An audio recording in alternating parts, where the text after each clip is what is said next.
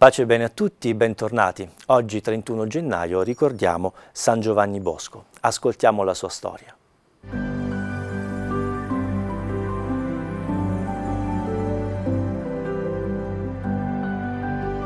Giovanni Bosco nasce il 16 agosto del 1815 da Francesco e Margherita Occhiena, vicino a Castelnuovo d'Asti, oggi Castelnuovo Don Bosco.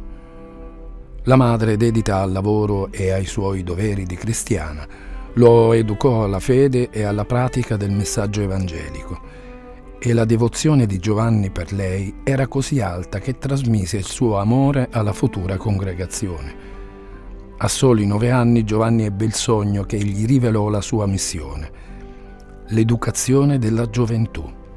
Compì gli studi ecclesiastici, e nel 1841 fu ordinato sacerdote.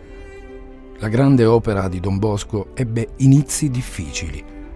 Il santo intuì subito il grande disagio che stavano vivendo i giovani delle famiglie che dal mondo agricolo stavano passando al mondo preindustriale e capì che l'oratorio poteva essere la risposta a questo disagio giovanile. Don Bosco intitolò il suo primo oratorio a San Francesco di Sal. Gli oratori erano un luogo di formazione cristiana, di ricreazione, di aggregazione.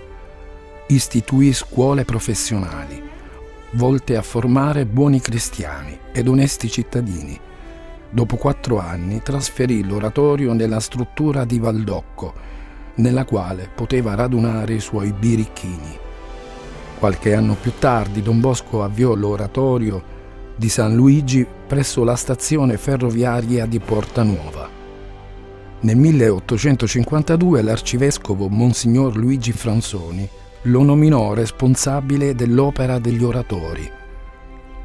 Per Don Bosco l'amore era il primo principio pedagogico ed era necessario che il ragazzo percepisse di essere amato. Dotato di una intelligenza eccezionale, Don Bosco considera la stampa uno strumento fondamentale per la divulgazione culturale, pedagogica e cristiana. Perciò diviene scrittore ed editore. Nella biografia da lui scritta su San Domenico Savio, evidenzia come il giovane aveva ben compreso la sua pedagogia.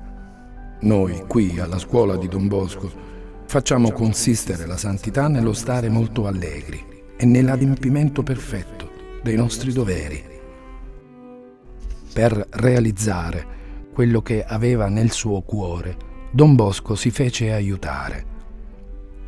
E per garantire una continuità e stabilità a ciò che aveva iniziato, fondò a Torino la Società di San Francesco di Sal, i Salesiani, una congregazione composta di sacerdoti. E qualche anno più tardi, a Mornese, con Santa Maria Domenica Mazzarello, fonda Le figlie di Maria Ausiliatrice. L'opinione pubblica nei riguardi di Don Bosco non era sempre favorevole.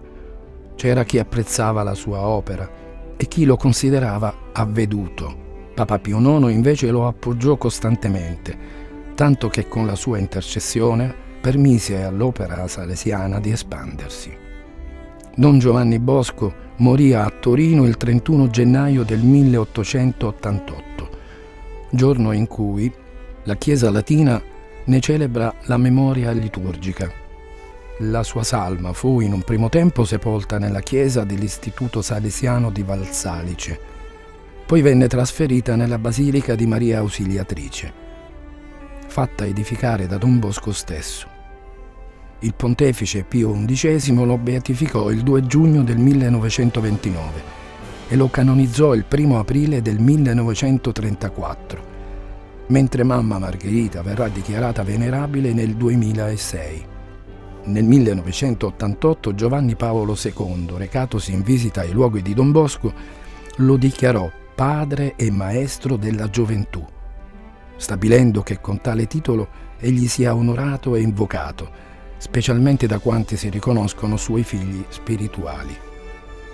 La famiglia salesiana può contare ben 5 santi, 51 beati, 8 venerabili ed 88 servi di Dio. Questo santo a me fa pensare subito ai giovani e subito alla passione che serve per poter entusiasmare i giovani e per portarli alla bellezza della vita, perché i giovani sono sempre molto a rischio e per educare i giovani a volte bisogna anche correggerli. Vediamo che cosa ci dice proprio San Giovanni.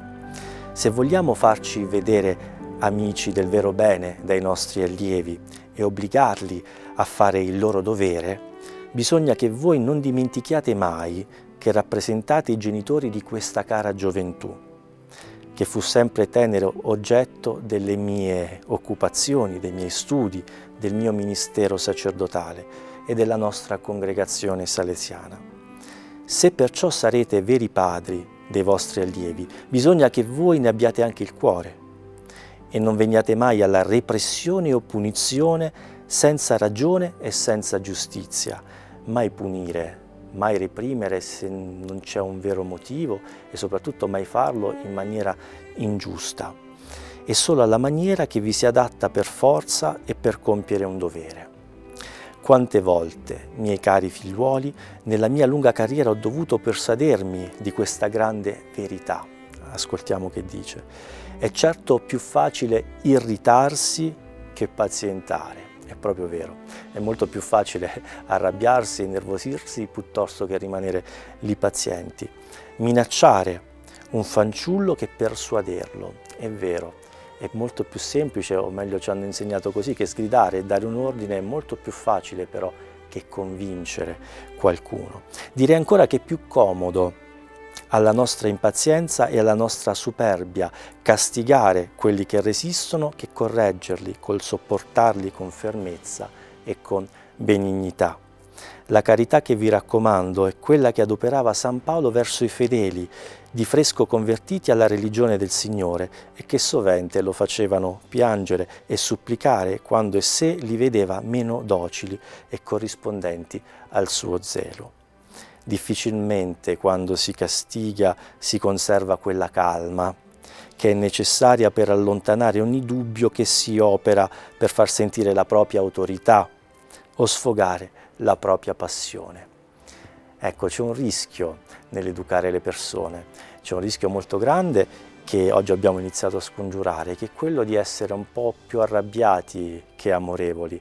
E questo veramente può fare grandi grandi danni, soprattutto con i giovani di oggi che sono un po' allergici come lo siamo un po' tutti in realtà, all'autorità e agli ordini.